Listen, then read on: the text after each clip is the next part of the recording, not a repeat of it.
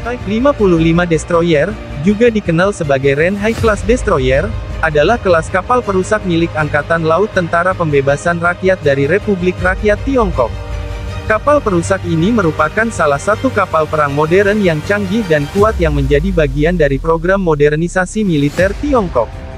Kapal perusak Type 55 dirancang untuk memiliki kemampuan multimisi dan merupakan kelas kapal perusak terbesar yang dibangun oleh Tiongkok hingga saat ini. Kapal ini memiliki desain yang menggabungkan fitur canggih dan sistem senjata modern untuk mendukung misi pertahanan dan pengawasan laut yang efektif. Beberapa fitur dan kemampuan dari Type 55 Destroyer antara lain. Sistem radar, dilengkapi dengan sistem radar canggih yang mampu mendeteksi dan melacak sasaran udara dan permukaan di jarak yang jauh. Sistem rudal, kapal ini dilengkapi dengan berbagai jenis rudal, termasuk rudal anti kapal permukaan, rudal anti pesawat, dan rudal anti kapal selam. Sistem rudal ini memberikan kapal perusak kemampuan serangan jarak jauh dan pertahanan udara yang efektif.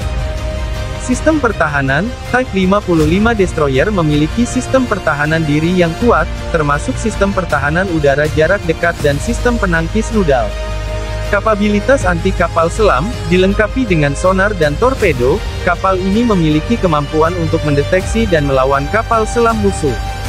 Kemampuan Aegis, ada juga laporan yang menyebutkan bahwa kapal Type 55 dapat dilengkapi dengan sistem Aegis Light, yang merupakan sistem pertahanan rudal canggih yang juga digunakan pada kapal-kapal perang Amerika Serikat. Kelas kapal perusak Type 55 merupakan kapal perang kelas dunia yang menegaskan posisi Tiongkok sebagai negara maritim yang semakin kuat dan canggih. Kapal ini merupakan komponen penting dari kekuatan Angkatan Laut Tiongkok dan mendukung peran strategis Tiongkok di wilayah Asia Pasifik. Sebagai pesawat militer, spesifikasi dan kemampuan kapal perusak Type 55 terus berkembang seiring dengan perkembangan teknologi dan program modernisasi militer Tiongkok.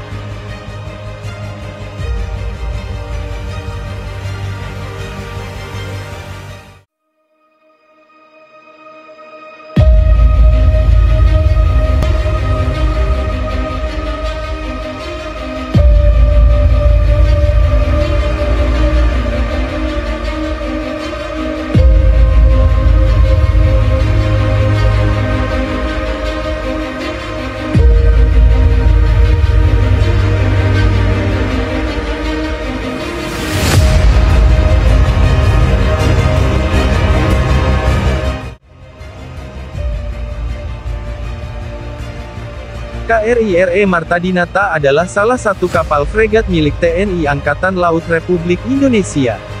Kapal ini merupakan kapal fregat kelas Sigma, yang dirancang dan dibangun oleh perusahaan Belanda, Damenselde Naval Shipbuilding.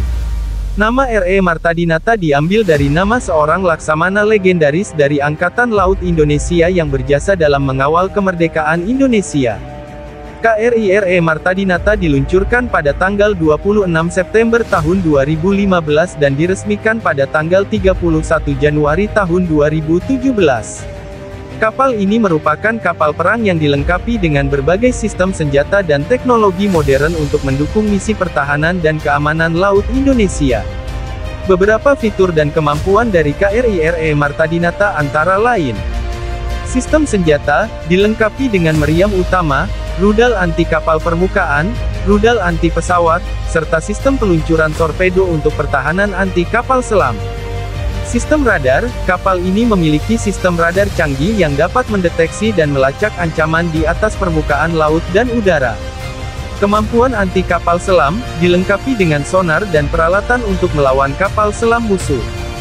Sistem C4ISR, kapal ini dilengkapi dengan sistem command, control, communication, computers, intelligence, surveillance, and reconnaissance, yang mengintegrasikan berbagai informasi dan memberikan gambaran situasi yang lebih baik kepada kru kapal.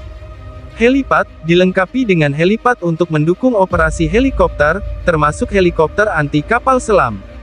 KRI RE Marta Dinata menjadi salah satu kapal perang utama dalam Angkatan Laut Indonesia dan berkontribusi dalam menjaga kedaulatan dan keamanan maritim Indonesia. Kapal ini merupakan bagian dari upaya modernisasi dan peningkatan kapabilitas militer Indonesia dalam menjaga keamanan di wilayah perairan Indonesia dan mencegah ancaman dari luar. Sebagai kapal fregat kelas Sigma, KRI RE Marta Dinata memiliki kemampuan multimisi yang dapat melaksanakan berbagai tugas, termasuk patroli laut, pengawalan kapal, pertahanan udara, dan pertempuran anti kapal selam. Kapal ini juga mewakili komitmen Indonesia dalam membangun kemampuan pertahanan yang modern dan handal untuk menjaga keamanan nasional dan regional.